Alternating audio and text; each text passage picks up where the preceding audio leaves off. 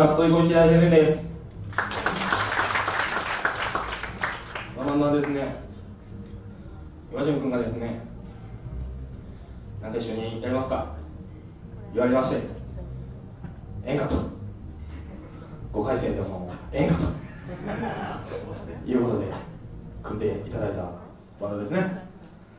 そうですね。でバンド名をですバンド名をですね岩川君がこう中高の時サッカー部やったことにちなんでですね、えー、ストイコビッチというサッカー選手がいましてですねそれにちなんだわけですね。一つぐらい正解言いましょう。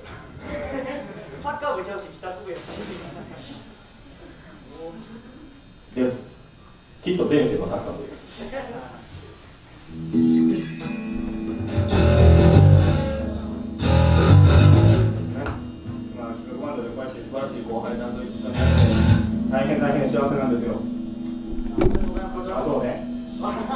こちらこそなやっていかないとねさてさてさてもう一曲おそらくご存知でない曲をやって終わるんです。けれども、えー、楽しく踊ってダンスして踊って、えー、跳ねて何でも行きましょう明日